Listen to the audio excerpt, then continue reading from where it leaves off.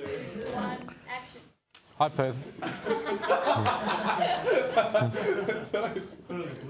You really are a tool. I should get two of them so I look like.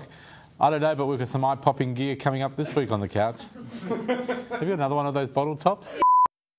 Hi, Perth. Please join us for a very big couch this week. It's eye popping. We have got more than anything. Doesn't matter.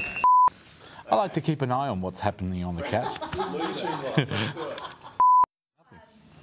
Hi, Perth. Please. Too much monkey business going on on the show today, but we have got monkey, monkey, monkey business. Monkey, monkey, monkey, monkey. Mon- a powder monkey, thank you. Oh, sorry. How about I just lie on the floor? Looking like a big show this week, Perth. Please join us at 5:30 on Sunday for the couch. Paul Elwyn have got. Oh. Hi Perth, please join us this Sunday at 5.30 for The Couch. We have got a big show for you. Paul Elwyn has some really funny YouTube clips. We're talking to people from Steps. We've got Melanie Nicole with Theatre News and more. 5.30 this Sunday on Access 31, The Couch. Hope to see you there.